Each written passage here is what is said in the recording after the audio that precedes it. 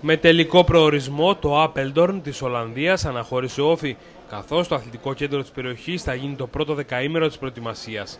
Για το δεύτερο μέρος η ομάδα του Ηρακλείου θα μετακομίσει στο Μπουρ Χάμστεντε, ενώ συνολικά θα γίνουν 7 δυνατά φιλικά παιχνίδια.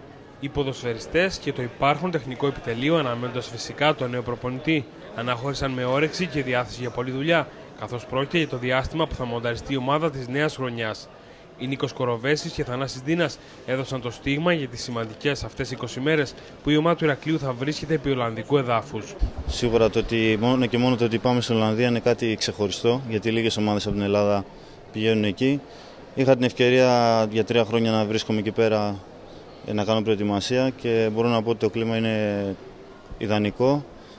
Πάνε πολύ ισχυρές ομάδες εκεί πέρα και αυτά τα φιλικά που έχει κλείσει η ομάδα είναι μεγάλο επίπεδο θα βγάλουμε χρήσιμα συμπεράσματα και πραγματικά θα βγούμε καλύτεροι, ανεξάρτητα από το αποτέλεσμα που θα, που θα υπάρξει. Ο στόχος μας είναι να βελτιωθούμε από πέρυσι ακόμα περισσότερο, να παίξουμε καλύτερο ποδόσφαιρο. Αυτό που θέλουμε να παρουσιάσουμε στο γήπεδο οι άνθρωποι εδώ όλοι να το βγάλουμε ακόμα καλύτερα στο, μέσα στον αγωνιστικό χώρο και να παίξουμε καλύτερα. Ε, σίγουρα από τις πρώτες μέρες ε, δουλεύουμε πάνω σε ένα συγκεκριμένο πλάνο. Το ίδιο συνεχιστεί και στην Ολλανδία, απλά με τη διαφορά ότι εκεί έχουμε πολύ δυνατά φιλικά όπως είπατε. Θα μετρήσουμε τις δυνάμεις μας, θα παίξουμε με ομάδες πολύ καλές που αγωνίζονται στην Ευρώπη και είναι πολύ καλή ευκαιρία και για μας και για όλους μας. Με την υπόλοιπη αποστολή του Όφη ταξίδευσε και ο Σαμίρ Ναμπή που θα δοκιμαστεί το επόμενο διάστημα και πρόκειται τον αδελφό του Αντίλ Ναμπή. Είναι 22 ετών και αγωνίζεται στη μεσαία γραμμή, ενώ είναι πολύ πιθανό από το μικροσκόπιο των ανθρώπων της ομάδας να περάσουν και άλλοι παίκτες. Στο μεταξύ, σήμερα ανακοινώθηκε επίσημα η απόκτηση του Φελίπε Φεραίρα, που υπέγραψε τετραετές συμβόλαιο με τους κριτικούς. Το συνολικό κόστος για τη μεταγραφή έφτασε στις 600.000 ευρώ, που συμπεριλαμβάνονται τα χρήματα της Κουρίκο Ονίδο, αλλά και αυτά που έχει να λαμβάνει ο Βραζιλιάνος, αν βέβαια εξαντληθεί το συμβόλαιό του.